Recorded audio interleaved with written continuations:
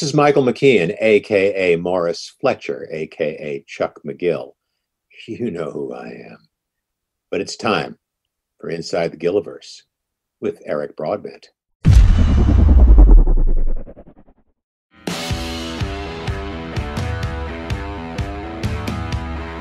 You're watching Inside the Gilliverse, talking all things Breaking Bad, El Camino, and Better Call Saul. Brought to you by Stewart Travel Guitars. See the incredible stowaway travel guitar at stewartguitars.com. Also brought to you by Idea Bench, makers of hot rod inspired pedal boards and pedal board accessories at ideabench.com. Microphones for Inside the Gilliverse are brought to you by Rode Microphones. Now, please welcome your host, Eric Broadbent.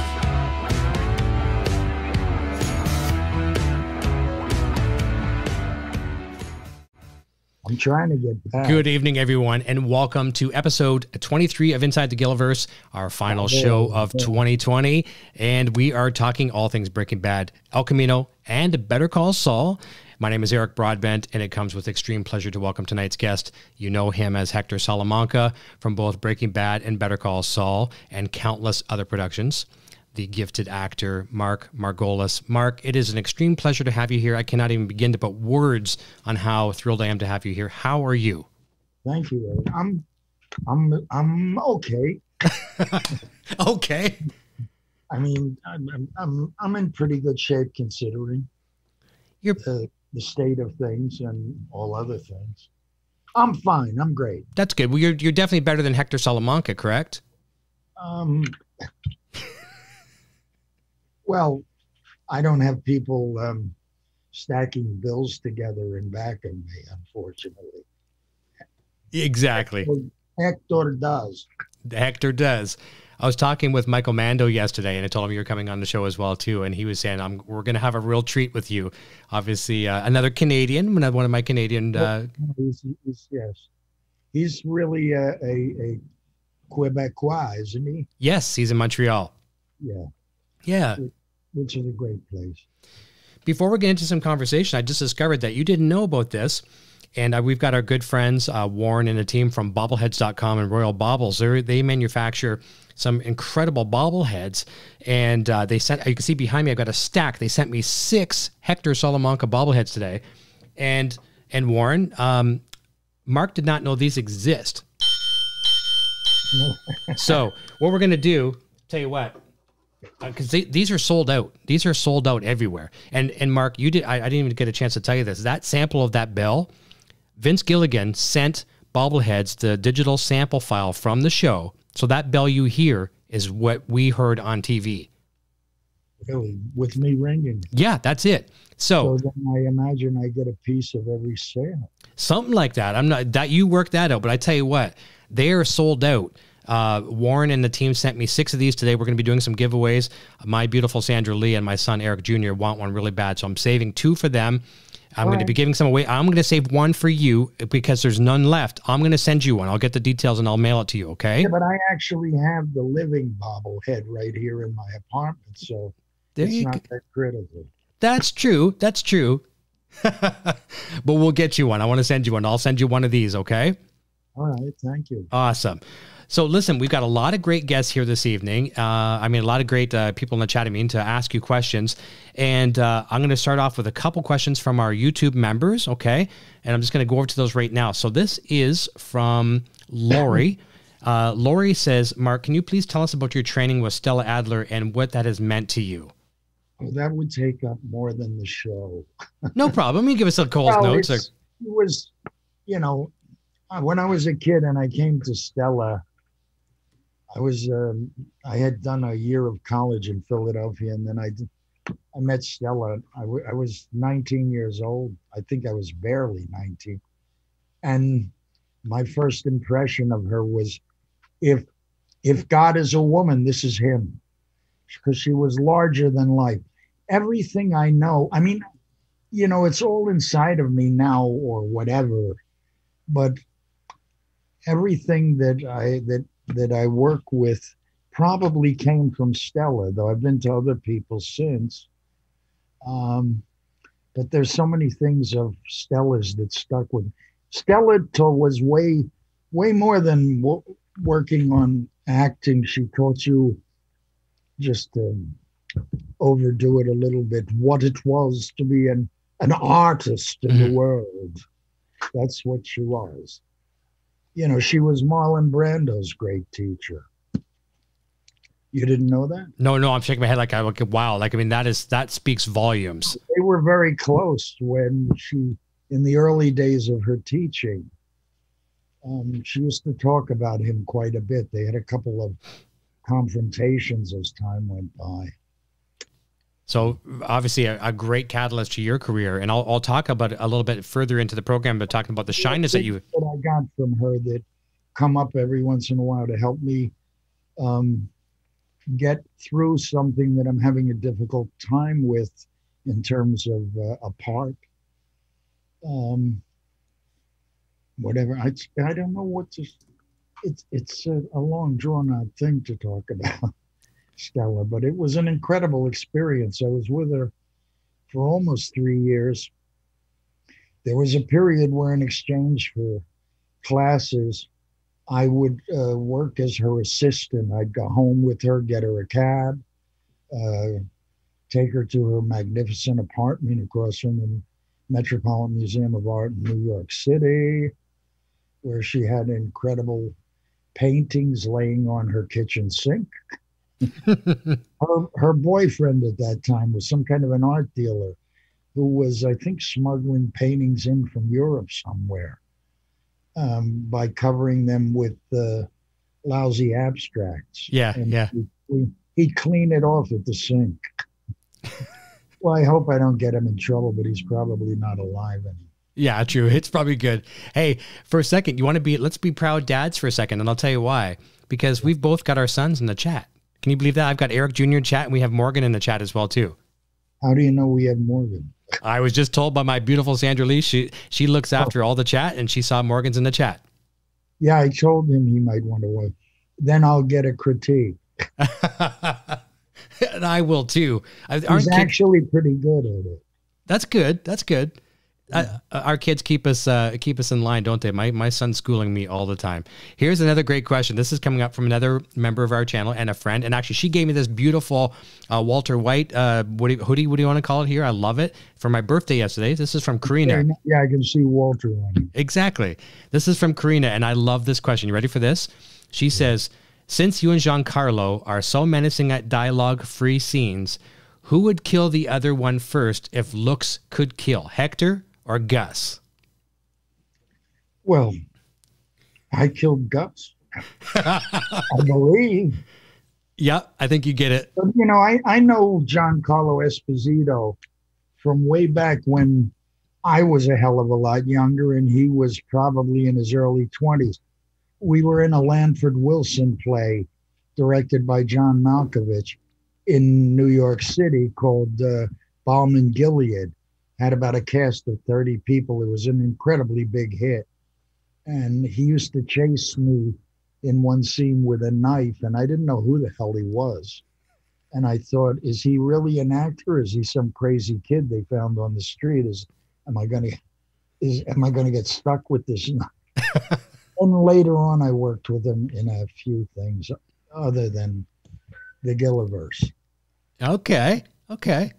So Hector's going to win anyways. It's it's it's it's inevitable. Well, I that that's already been done. I know. I know.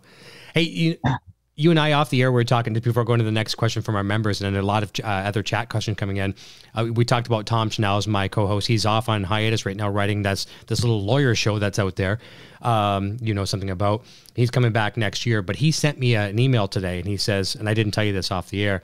He says, I'm not sure if you've ever seen this, and I didn't, and I'll be the first person to admit I hadn't seen it. The the Ding Bell uh, thing that you did for uh, it was an app or something. Japanese company. That was the strangest thing I've ever because I don't do things like that. It all had to happen within 60 seconds. All these moves with a, a steady cam Yeah, with no cuts. And it, we worked on it for hours and we finally got it down to exactly that. Now, whether they sold that app, I don't know, but I got an Apple Watch out of it, among other things. hey, that's cool. I ended up giving it to my son because I prefer old. Uh, what is it? My preference is old Bulovas. Oh, I know. I, I I would be old school like that too. Well, this was my father-in-law, my son's grandfather's uh, watch. Also very 50s. very sentimental. The Apple Watch was an incredible thing, but I didn't much use it. Yeah, I'm, I'm. I mean, I use an Apple iPhone. I mean, I've got one charging right now, uh, but just I'm not really into that. And I stopped wearing watches years ago because I've always carried my phone, so I, I don't really need a watch. But my dad was the same way as well too. Of old school, beautiful, you know, analog watches. I love the watch. I, I prefer the watch to looking up time on my iPhone. Well, I would prefer that if I could do that as well too. I put the phone aside because the phone is just a distraction. Did Thomas Schnauz send you that one minute uh, ding bell thing? You can get it online. Yeah. You used to be able to get it online. Yeah, I tweeted it today, and, and you know it's, it's funny because I asked you um, by email there uh, last week. I said, "Do you have any social media links to share and things like that?" And it was I was uh, actually very refreshing to find out that you don't. And there's many many days, as I told you in email, I wish I didn't have social media too because it's it could drag you down this rabbit hole. But you know, fortunately, the the family that we've made here through the Gilliverse, it's a very inviting family, and that's the social community, uh, social media community that I'm very proud to be part of. So, you know, but I don't, I, I definitely envy you for sometimes not being connected to the outside world with this social media and things like that. Here, here's a great question coming in from Claudia. Uh, she says, You have worked with many important directors. Uh, who has been the most demanding so far? Demanding, hmm probably Darren Aronofsky, Okay. the guy who did all those movies, starting with Pi and going all the way to Mother. Though I'm not in Mother, I'm in all the other movies. hmm He's a very strange. He's a very gifted guy, but he's incredibly demanding in certain ways, and sometimes I have trouble um, wrapping my head around what exactly he wants. He'll say something like, "You know how we do it." Mhm. I'll say, "No, actually, I don't know how we do it."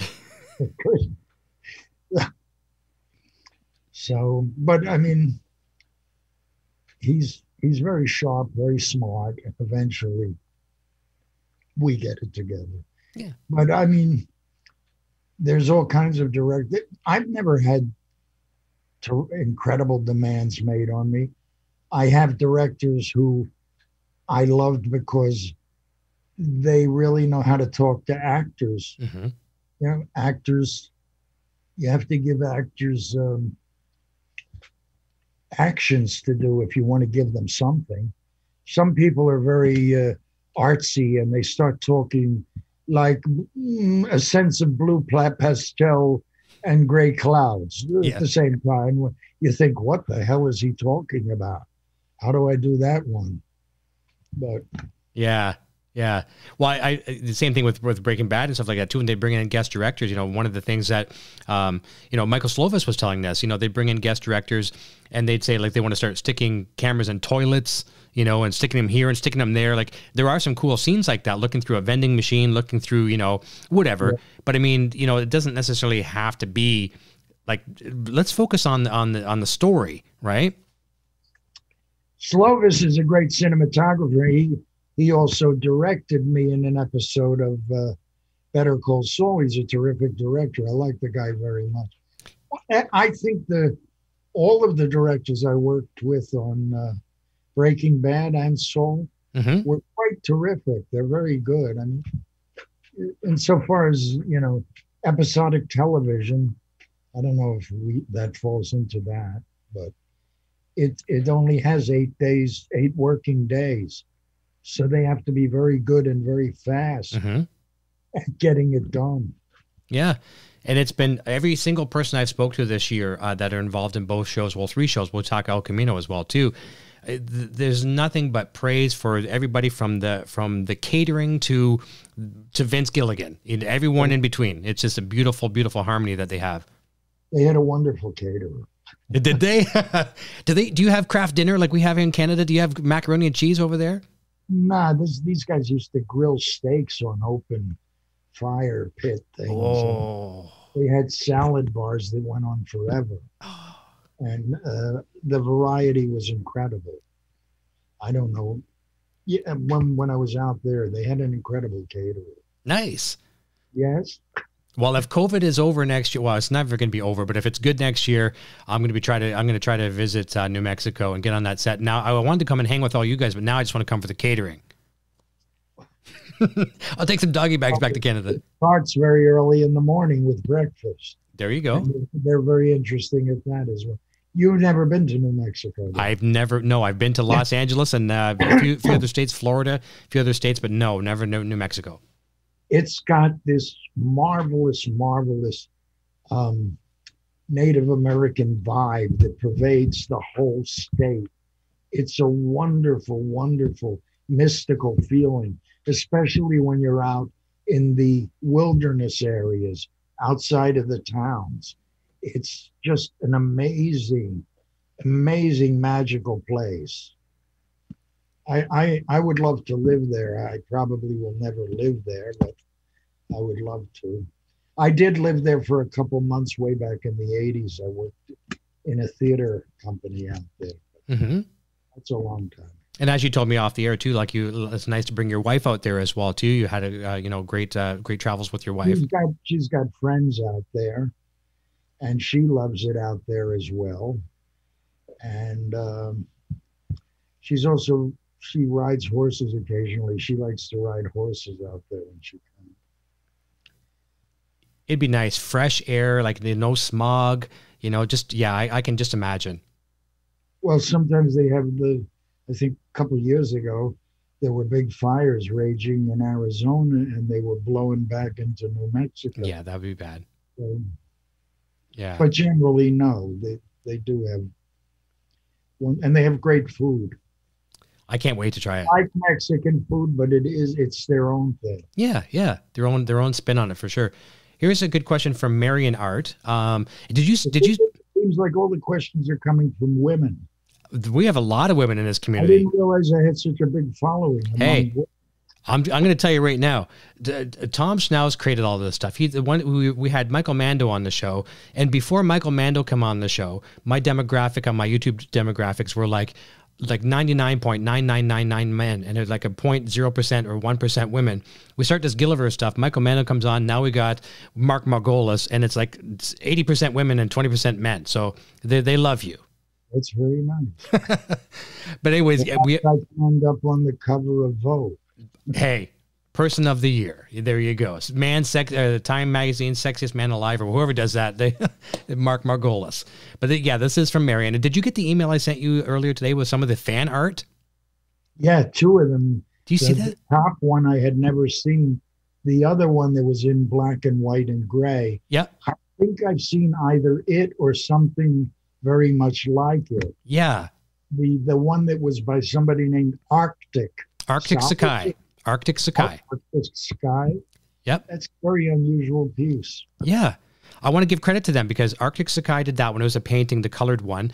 And Ragava, one of Yeah, Ragava is over in France. He did the penciled sketch. He did one of uh, Peter Gould as well Yeah. too. So we I arranged through Peter's assistant to send that to him. So I can also try to get you some of that fan art if you'd like to have it, like real copies of it. Pieces that people have sent to me. Some of them are quite marvelous, very much so. Yeah. Yeah, there's a big, a big demand for it, and also Mrs. Wexler, uh, she sent one late, uh, uh, coming in late. It was really funny. She did a bit of a spin on on Hector, and so Hector's got the oxygen, uh, you know, tubes and everything, but he Hector is on a a scooter like you'd see in Walmart. And I, I I commented back. I said, now Hector's just like the grumpy old man that you'd find in Walmart running over your feet. I've only been in Walmart once in my life, Yeah, so I- I, don't know the scooter. Yeah, exactly. But it was great, and I promised them I would mention uh, their their beautifully uh, talented work here. But so Marion says Marion art she does great uh, drawings as well too, art, art artistic things. I want to know about how challenging it was for you, Mark, to play disabled Hector, all the mobility and expression uh, limitations. And I, I understand too a lot of that came from a family member that you you know. Uh, Yeah, I, I, I've told that story a hundred times. Yep. My, my, my wife's mother had had a stroke. She was in a nursing home in terrible shape. Um, when we'd come down to, she was in Florida. When we'd come down there, her her facial reactions were this uh, you get excited. So I stole that from her. Otherwise, I'd be sitting there dead, kind of.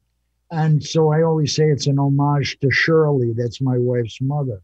But um, it's funny because when they first asked me to do it, um, and they sent me the material, and they were going to bring me to New Mexico, I thought, uh, "Oh, this is marvelous! I just have to, I have to live inside. I don't, I don't have anything to say, learn any. Whereas, I've told this story before. I have a friend who was a terrific actor in L.A.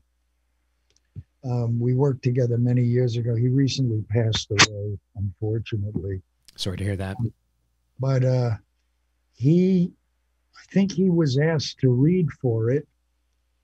And when he looked at the script, his first thought was he told me, This guy doesn't have any lines. I don't want to get involved in this.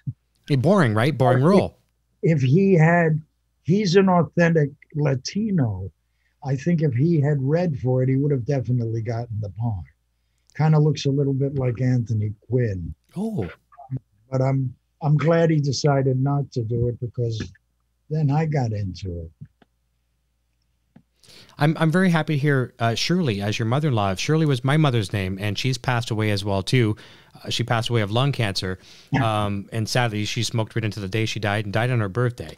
Uh, I don't mean to take it in a dark a dark thing, but I'm I'm very grateful to my mother Shirley because uh, she's responsible for what I am today. She's made me, and I always say people sometimes will they'll say, "Hey, you're a mama's boy." I'm like, "Hey, come back at me when you, when you have an insult. I am proud to be a mama's boy." My mother was very good to me. Yeah. That's good. That's good to hear. Proud of you, I'm assuming. Well, well, my mother, I used to tell people, they say, well, why did you become an actor? I said, I wanted to be a doctor, but I didn't want to displease my mother. So I became an actor. My mother was a, a she was a, a, she worked as a decorator in a, for a wallpaper company. Um, but she was also an artist. She did a lot of painting. I grew up in an artsy kind of a scene in Philadelphia, um, but they were always into music and art and acting and. So they were very supportive of me becoming both my mother and father becoming an actor, which is the opposite of what uh, people usually get very upset if their kid wants to become go into the arts. It sounds like the the road to poverty, a failure fact, unfortunately, my father passed away before I actually started to make much of a living as an actor. Oh. And he kind of cried to me that he regretted being supportive because he had sent me down uh, the road to poverty. Right after he passed away, I started working a lot more. It had nothing to do with that, but he never got to see that. What a shame. What a shame. I mean, if you believe in the afterlife and you believe about our parents looking down on us, I, I, I, mean, I'm not a very religious person, but I do have beliefs, and I believe my our parents are looking down on us. I'm sure he's very, very proud. I mean, and that resume that you have, I mean, people getting to the business today would just uh, would just kill for that. But here's a, a, question coming in. This is what we call a super chat question uh, from one of our viewers, Josh Gordon. Can you talk about uh, working with Jim Carrey and you know another fellow Canadian? Uh, I love Jim Carrey and seeing you with the, being the landlord. Uh, can you tell us about that? Shickadance. By the way, that name, the director, um, who I think the director's name was Shadyac, which is even weirder. Mm-hmm. He said the the name Mr. Dance was because he used to have a landlord named Dance. But when I when I went and worked in um, Ace Ventura, I didn't really know who Jim Carrey was because he he was only known from a show called In Living Color. Right. I had never seen it, so I didn't know who he was. Uh, he was quite manic. Um, I mean, he never stopped. It's like a, go, a go, go. that goes on and on. But he was very funny when we would we would uh, rehearse. He would do like there's a there's a line in it where I say uh, I, he says he's not he doesn't have any animals, and he says uh, I say to him, Well, what's all the pet food for? And he says, The fiber uh, in the movie. But when we rehearsed, I said, What's all the pet food for? And he would say, Kinky sex. But that's the only movie I was ever in where they asked me, they wanted a, a voice like something out of The Exorcist. I had never seen The Exorcist, but I figured it was that. That's perfect. The haunting landlord.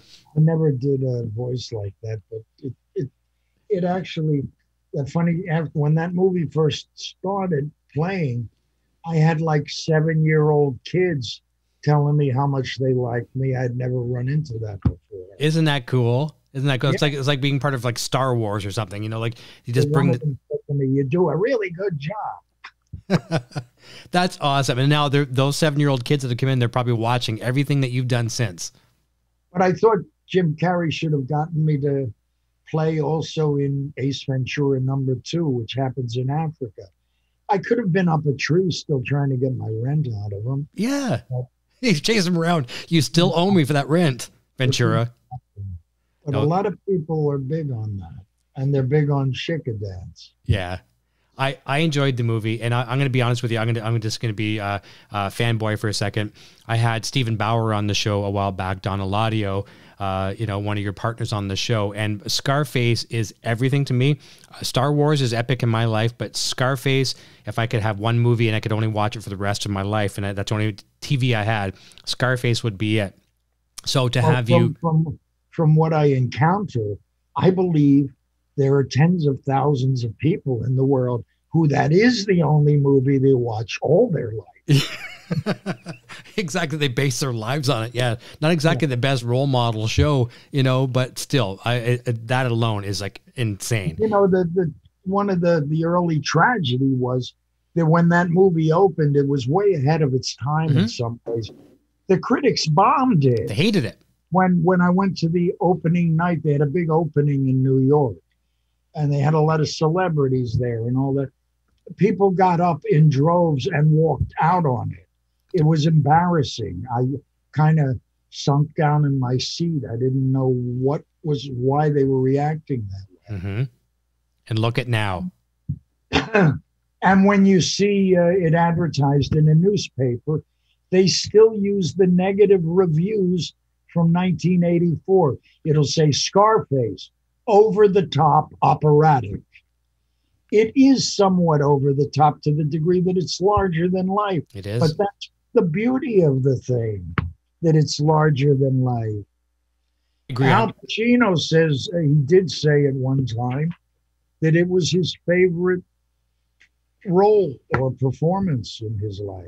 Wow. Yeah, I, I really loved it. I mean, it, intense, intense, intense. And look what it did for the Gilliverse, right? You know, like that's that's what Vince is. He basically wanted Mr. Chips to Scarface, and that's that's the evolution of Walter White. But um, here comes another great question, and this is from a friend of ours, Eamon. And Eamon helps us greatly. One of two people to help us on our show when uh, we had some technical trouble. He'll stand in, and they'll stand in. Him and Matt will stand in for our guest to help us make things work. And Eamon says, "Let's make sure we get an answer to the usual: Who did Mark get the death call from, or should I say, uh, bomb call, or whatever? Like a uh, uh, so yes." I, I was expecting it, and the the there was a guy that called me up one afternoon or morning, I think and it was Vince Gilligan, and I knew that would that that was what was coming, that um, um, that they were going to kill me, but I was really going to have a lot of fun doing it, according to Vince, and I had a very um, what what's the word? I had a, a Vince directed that episode where I blew myself and, and Giancarlo up. Yep, face off. Uh, and I had a, I don't know what you call it, an epiphany or yeah. Gilligan showed me something uh, about how brilliant he is that I just shut me down real quick. Um, the curtains. Do you know about that? I do. Yeah, you said you said. I've told it, it in other. I don't have to tell it. No, no, it's good. It's good. Go ahead because you, it was focused on the curtains. You go ahead and tell it. It's funny. Well, there was a moment where Walter White jumps out the window from my room because um, uh, uh, Giancarlo's bodyguard is coming in to check the room. Tyrus. And yes, and uh, so we stopped and they were setting up the cameras, and Vince was moving the the curtain, part of the left curtain in, part of it out.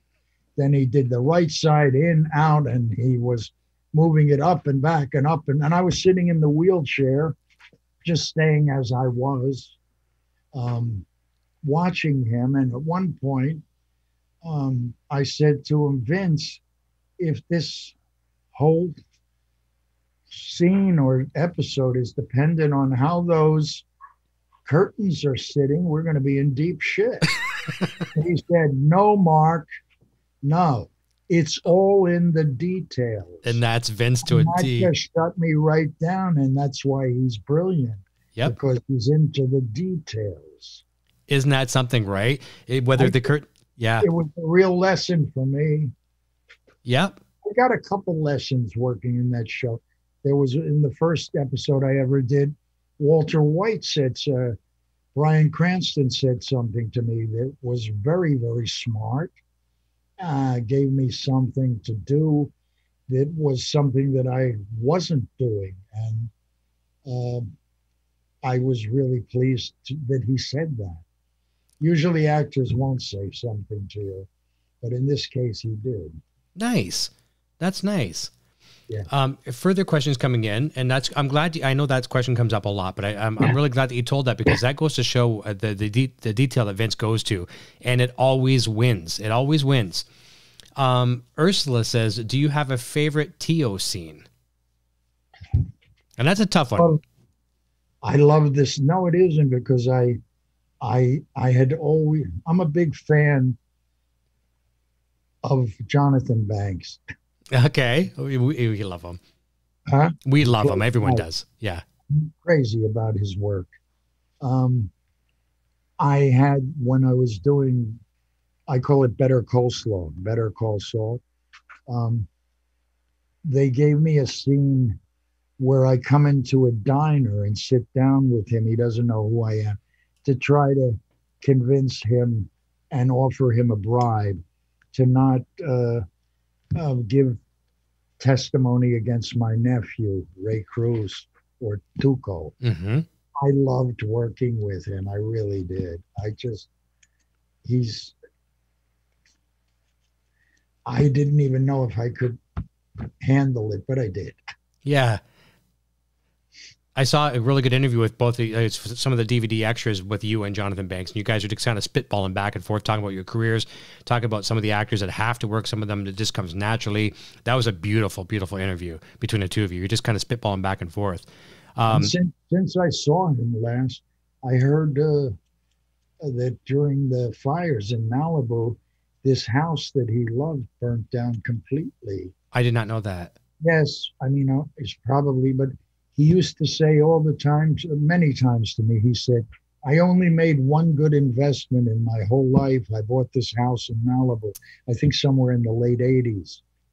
Uh, this was only a couple years ago, two or three years ago. Okay. The, the house burnt down. I guess he, Oh. I heard he didn't even have any clothes. People, they had to lend him clothing. Oh, that's sad. Yeah, that Mm. is. That is. Uh, we have another super chat question that came in from Shawshank. Uh, Shawshank says, uh, uh, so we talked about kind of the paralysis and things like that and, and portraying that role, but this is a little further. He says, what were the challenges in navigating the pre paralysis character of Hector Salamanca on Better Call Saul? That's a good one. Well, that was easier in a way because I was liberated from Mhm. the wheelchair. I was mobile. Um, um, I was able to talk. Uh, the biggest challenge for me, I'm not uh, Latino. I do speak some Spanish. I took it in high school and a little bit in college. And I lived in Mexico when I was very young for a couple of months. I've been to Spain. But I'm not a really uh, authentic uh, speaker in Spanish.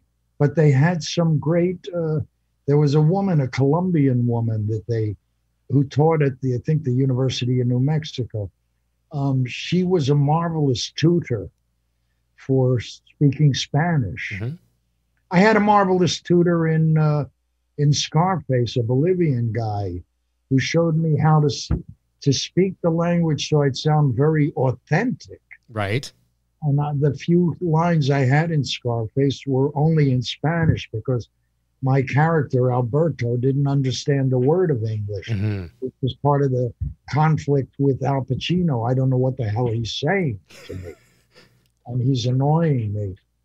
But um, so the the I used to get frightened whenever they sent me a script with a couple of pages of of Spanish.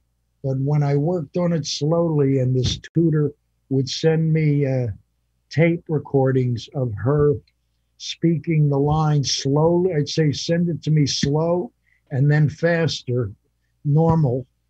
I would get it together. There have been people that write in saying he doesn't sound authentic.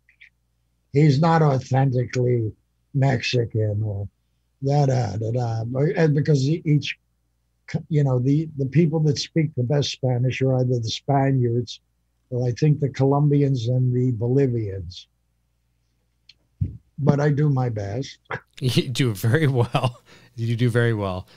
Um, we have another super chat question. This is from Ragava himself, who did the pencil sketch of you, and I'm going to make sure we I try to arrange to get that to you. Uh, Ragava says, um, "You're a legendary actor with decades of experience. Uh, who is a young actor that you have admired recently, and what is it that you like about them?" Uh, well, first of all, Ragava, thank you for doing such a marvelous, intricate sketch. I used to work in art galleries when I was younger, selling very high end painters in New York when I was a kid. And that's a quite marvelous. Now, there's a whole bunch of young actors who I don't like, but I don't want to say they are. And they, they get raved about, and I don't understand why. But I may just be a bitter old man, a, a nasty curmudgeon. My wife usually says, Well, you're just jealous of him. Maybe, I don't think so. But who's a young actor? Boy, that's a tough question. Why did he have to give me that? I know, right? Puts you on the spot. Way to go, Ragava. How young does he mean, though? oh, I could be. It could be 20s, 30s, even. It doesn't have to be a, a you know a teen. I mean, there's a guy I'm crazy about, but I worked with him. He's younger than me. hmm Actually, for Ragava, the actor's a French actor. He's really, he was Turkish and he moved to France. Okay. named Tchéky Karyo. I worked in a movie about Christopher Columbus. But uh, Tchéky's already in his 60s. He's not a young actor. so He's younger a with actor. Let me think of who, who, who, who, who, who. Uh, God. There are some that are so terrific. I, I, the minute I this whole interview ends, you'll have 10 answers. 20 of them. Um, and there are young, some women, young women who are incredible actresses. Why can't I think of somebody? It's okay. I, it's okay. I, I know it. Same as me too. I'll be thinking as many after we after the show too. I'll just say Chris Walken. Yeah, there you go. Uh, here's a question from Renata. This is good, uh, and we've actually reached out to Raymond Cruz's uh, uh, publicist as well too to get Tuco on the show. But Renata says, did Hector really uh, love Tuco or actually fear him? I only spent one episode with with Tuco, hmm and I went to dinner with him. Uh, I liked the guy, sort of. I mean, he was a madman in the scene. Yeah. Yeah, that first that first episode that I did was out in that cabin with Tuco. Um, I don't think I ever saw him again. Um, I think they wanted to keep him on the show, and he wanted to be back in L.A. in some episodic thing. I think, I think he made a mistake, but I don't know. Yeah. Um, I know he had a lot of people that were crazy about him. Yeah, he, he I can't honestly I mean there's certain things like in music I always say you take your favorite like band and you pull the, the lead singer or the guitar player out there and you just can't replace them. Let's pull Tuco out of that scene and try to recast anybody else. I mean, I can't think of anybody else who could have delivered the scenes that he did. The intensity. And he said it was very demanding. He he it wore physically wore him out. Well, he's an ex-boxer. He's Mhm. a tough guy. I believe Raymond was a, a boxer at one point. Um, but he's doing a lot better than me. He's got a publicist. I have a my son has a publicist who occasionally has done things for me, but I've never really had a pub. When I was nominated for an Emmy, I had a publicist briefly. And you know what? With with booking guests, publicists, I love them to death. I mean, there's management, there's this and there's that. There's all these different people, and that's the hardest part is booking the guests for these shows. And the publicists, I love working with them. Uh, they're, they're they're great. I, I mean, because the publicists are the ones that generally work with um, the the talent on a on a daily basis. They know where you are at all times. But th- that being said, too, your team, I've spoke. I don't even know how many people I've spoke to with your team. There's in that Well, email thread. Manager, I think my manager, Rob. Yes. Yeah, Rob. Rob has been great to me. Uh, to and there's about four other people included in that that circle. So there's some people working to help you out. Rob's very good to me. He's he's my manager, but he he often takes care of so many things. I feel like I have a wonderful personal assistant, He, he's especially when I'm traveling and working. He looks into every little detail of it, just like Vince. He's in Yeah. yeah, he's great. very good that way.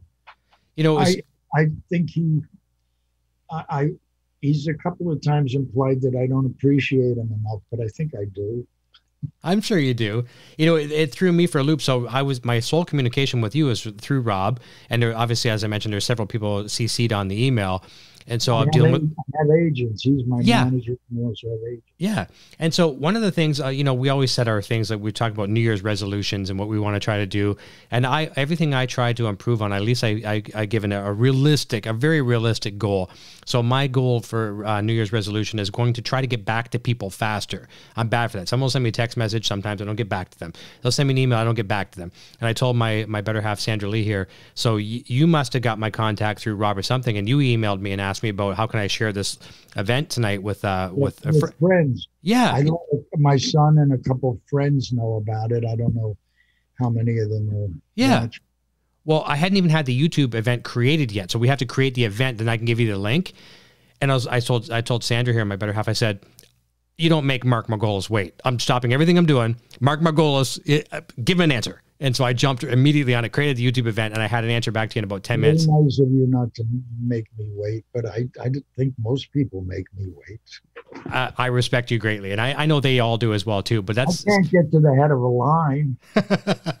well, I'm using you as maybe a crutch to help my my New Year's resolution get a little bit better. So uh, credit goes to you.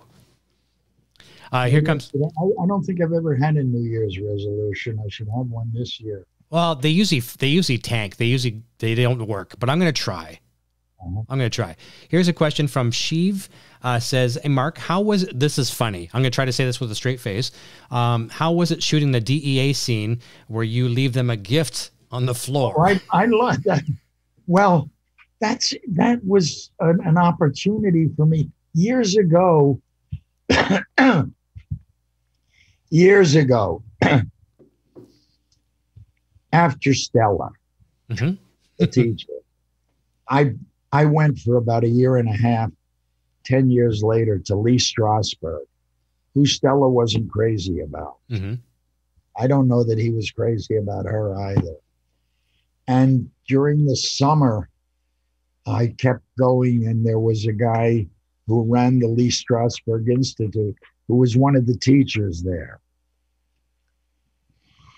And a guy got up to do uh, what was called a private moment, where he was going to sit on the toilet and take a dump.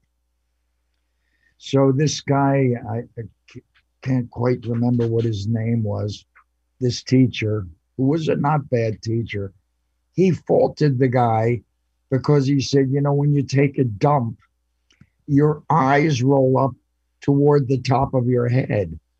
And later, when I thought about that, I thought he's wrong. The only people whose eyes roll up are babies when they're shitting in their pants.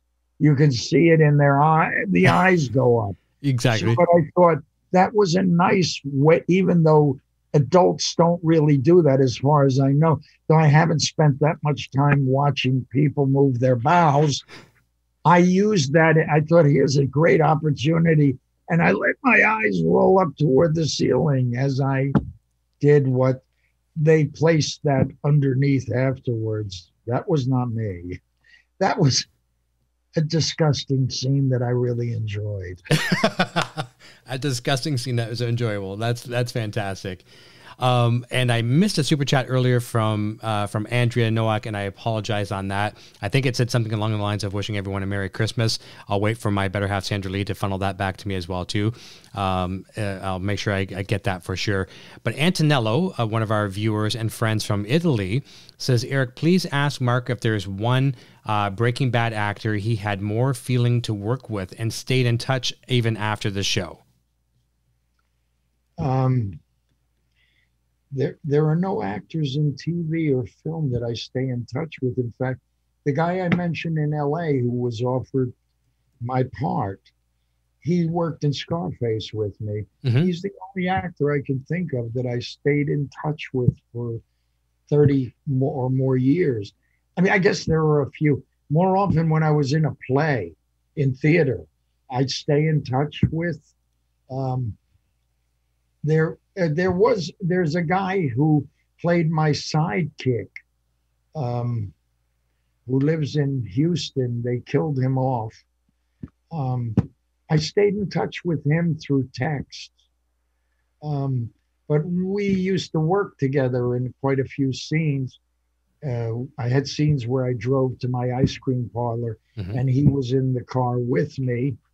His name is uh, I think it's Vincent Fuentes. Um, I forget what the name of his character was, but I, I, I would have loved. I, I, I had a couple of. Uh, I ran into uh, Aaron Paul a couple times. Nice. My son has run into Aaron Paul and spent time with him at, I think, gyms and things like that. But none of the other people. I once I was sitting in the LA airport waiting to go, uh, not LA, the, the, the, the Albuquerque airport, mm-hmm. drinking a coffee at some little cafe. It's a very nice small airport. Um, and people would walk by and recognize me and say, Oh, you're the guy from Breaking Bad, da, da, da, or Better Call Saul. And uh, then this woman came by and she said, hi, how you doing? I said, fine. How are you? She said, fine. She said to me, you don't know who I am, do you? I said, I, I don't think so. She said, it's me, Rhea Seehorn. What? I had had hour long conversations with her about various things and about some theater company she worked with in Washington, D.C. And I didn't recognize her because she was, I think she was in jeans and yep we, we were in the airport. So, isn't she something? That's why people don't have long term relationships with me because I don't even know who they are. no, oh, she... I, have run into Walter White a couple times. Bryan, in Studio City. Yeah, he he's very inspiring, and him and Aaron both right now doing the Dos Hombres, uh, uh, you know, mezcal business. That seems to be going very well for them. Yeah, yeah, yeah. Is that the blue stuff or whatever? No, I don't. I Karina, our friend here, Karina knows a lot more about it, and and Michelle and all, all of our. That was a drink. Yeah, I've never had it, but they say I, sh- I should. I, I, went into a restaurant on Ventura Boulevard in L.A. Mm-hmm. and I, I ate on the terrace with my wife, and then I went inside the restaurant to use the men's room, and when I came out, the manager said, "There's a guy here who wants to say hello to you." And the guy started yelling over from the corner, Ah, you're Hector Salamanca. You're Hector Salamanca. I said, I'm not. I'm Mark Margolis. That's who I play. Mm-hmm. I am now. You're Hector Salamanca. So I walked over toward him, and in because it was dark in there, it turned out to be um, Bryan Cranston. you thought some fan, that's some drunken sitting, fan. Sitting with a friend of his who's also in Breaking Bad, um, Javier. I can't remember Javier's last name. They've been friends for years. Okay. Oh, that's that's an awesome story. I think it was blew my mind. Yeah, I guess so. And you're probably thinking, okay, I'm not that guy, man. And, and then meanwhile, it's, it's Sounded like one of those drunks that won't leave you alone. I love you, man. I love you, man. I love all your stuff. I've seen you in that movie. Yeah, yeah. Here, here's a good question from Nat Romero. She says, uh, I just got to scroll back to find it. It was a really good one as well. How did you feel when you got the resurrection call for Better Call Saul? A lot of these people getting that phone call, so we got a spinoff now. It's legit. How so? You heck, resurrection to go into. Well, basically, it's a it's a it's a prequel. So Hector lives. I thought it was great because I got to go back to New Mexico. and my wife was even more ecstatic because she likes it even better than I do, which is hard to believe. So um, it's it was that show was uh, probably a big favorite of mine. The Breaking Bad leading into Better Call Saul. It's such a wonderful, wonderful world of film. And here again, thanks to our viewers who know a lot many times, almost all times, know way more than me as the host. Uh, I'm learning as I go here. I just love talking to you. But Karina says, fun fact: um, Mark did not meet Jonathan Banks until Better Call Saul. Never met him while even while filming Breaking Bad. Is that correct? No, I didn't even meet him in in Better Calls. I never met him in Breaking Bad. Wow. We met him when we did the scene in uh, in Better Call Saul. There's a lot of people that I never. I only. Uh, I think it was like maybe the next to the last. I, I only did two. The last season, I did one or I don't. I think I did two episodes. The fifth season. I never met Bob Odenkirk until that last season. Okay. And that was only in the uh, coming out of my trailer in the parking lot of uh, of the studio, something like that. I ran into him. Oh, that's that's fantastic. I've I've never met any of any of you uh, uh, folks in, in, person, but I look forward to the possibility of maybe on set sometime uh, uh in 2021 if all goes well. Uh, so we're just about the end of the program here. Just a couple other questions here. This one is from and and this is a really good question as well too from Hippie, and I'll I'll say this as well too. Um, I I myself like, look up to all of you actors. I've had had many of uh, the cast and crew from Breaking Bad, Better Call Saul, El Camino on the show, and I usually don't fanboy out and like lose my like I, what I've always tried to say is when doing these shows is um, you know Chris Farley rest in peace. He did uh, this really really funny skit uh, and Bob Odenkirk even written uh, wrote the, the great skit for him the uh, van down by the river. But Chris Chris Farley interviewed uh, Paul McCartney Sir Paul McCartney and said do you remember when you were in the Beatles? And then Paul's like yep. And he's like that was awesome. So I try not to never be that person as a host but I do sometimes get nervous I thought I was going to be nervous with Vince Gilligan. I was a little bit nervous with Vince Gilligan, but I'm I, am i am not going to lie. When I told my wife tonight, I said Mark Margolis. Mark Margolis is on the show tonight, and I was a little, you know, I got some shakes, right?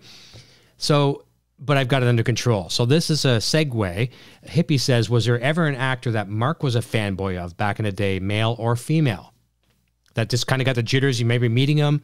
Yeah, I mean, we when I was young, we all wanted to be Marlon Brando. Mm-hmm there were actors like Brando, Montgomery Clift. Uh, it went on and on and on. There were these amazing, even uh, even Bogart.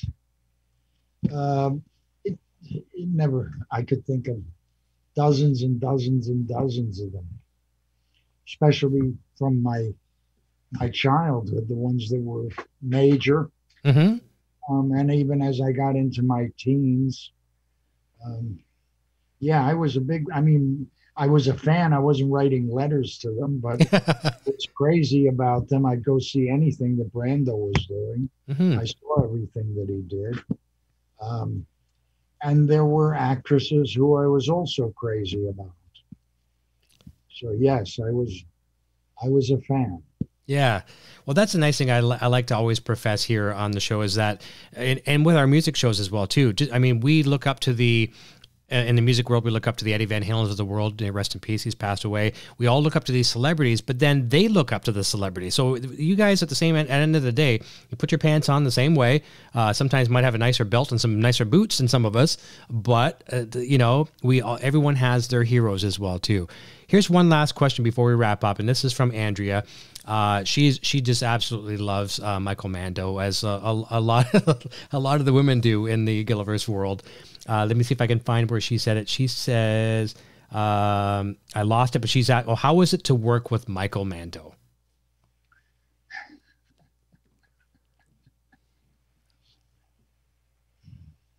No comment. Okay.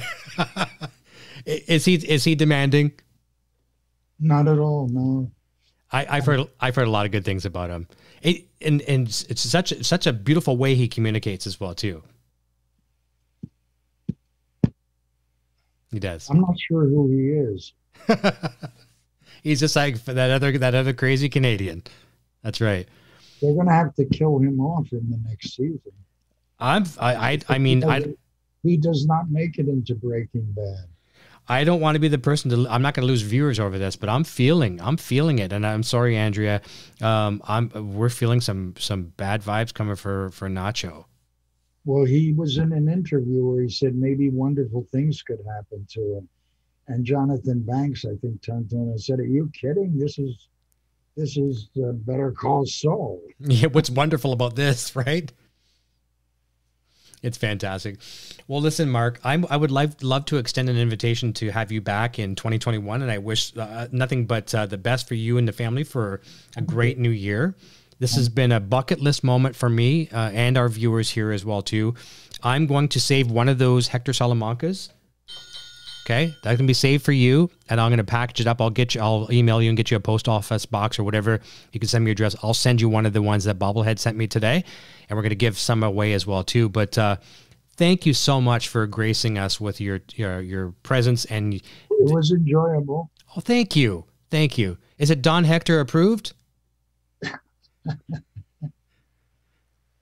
It's been a pleasure, and, and I, am going to say goodbye to you off the air. But you're our final guest of the year, and uh, yes, you are. We right the year's on, but that's only because the year's almost over. That's right. Yeah. Well, we could have done one on Christmas Day. It's a Friday. That's our normal show, but no one's going to want to watch on Christmas Day. They're going to be with their families, even though this Gilliverse family is one of the best families I've ever met. Um, and I honestly, I can't think of a better way to say goodbye to 2020 and celebrate and a fantastic guest like like you. It's it's an honor. Your your your IMDb resume is like a shopping spree at CVS pharmacy as far as the length of the receipt. That's the length of your uh, your credentials, and it's incredible. Really? Yes. Okay, you've played in a few uh, movies. By the way, I, I had a I had a I had a, a great number of um, interesting times working with Michael Mando. Good. Good. And you know what? I, I, I always, 99% of the time, uh, I neglect my questions You've for. always our, been very nice to me. Good. I usually neglect my questions for our our fantastic audience and our viewers. I'm just going to say one thing because it was paramount that I wanted to do this with this show for you because you know in all your interviews you get asked many many similar questions and I'm sure I bring up some of the, the similar ones as well too. But I really wanted to. I see so many interviews where people say to you, oh yeah, you're always the bad guy. You're always the bad guy, and you're not. not always the bad. I know, and that's. No, you know why? Because my bad guys stick in their mind. I know. but I've played, you know, in my whole life, maybe I've played 12 bad guys. I played 65 guys that were good guys, but I guess the performance isn't that good. No, no. No, you've done well. And that was honestly, I would not be doing my justice as someone who's hosting these shows if I didn't point that out because I admire that greatly. You've done daytime soaps. I mean, so that was oh, the. Those were a hundred years ago. But still. Yeah, so but in, those are not. Those are not wonderful experiences. They're, they're lucrative, and you can get your day done in two hours in the morning, and yep. you're going home when everybody's going to work. But yeah, but I, I wanted to at least point that out that there's a lot more than just a bad guy to uh, Mark Margolis. Yeah, there's there's the miserable guy. I don't want to get out of bed, guy. I need a coffee, guy. It's time to go to bed. You know, I, I get it. I get it.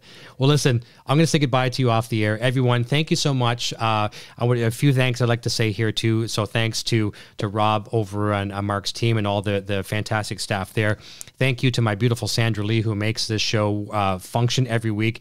Thank you to our moderators. Thank you to our YouTube members. All those people that are in the chat that have little colored icons. Those are our members. You can uh, become a member by hitting the join button down below. Thank you to our Patreon supporters. Thank you to the people that buy our merchandise at the Broad Stash Boutique. And just thank you for watching this show. And uh, we're going to start it off again, season two, New Year's Day. We'll be, we'll be back. But uh, what a way to go out with Mark Margolis. Thank you, Mark. Thank you. Everyone, we'll see you soon. Have a Merry Christmas. If you celebrate, be safe out there, wear a mask, do all that good stuff to prevent this thing. This is the first time I haven't worn my mask. That's okay. We're safe. We're, we're zooming. I'm, I'm in my bedroom, sir. That's right. We're good. I think it's safe here. I well, who knows? I'm not going to question what goes on in the bedroom, so uh, we'll just leave that alone. I'll say goodbye to you off the air, Mark. Don't go away, everyone. Thanks so much, and we'll see you Friday, January first.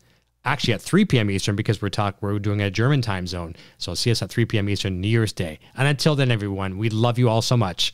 Cheers.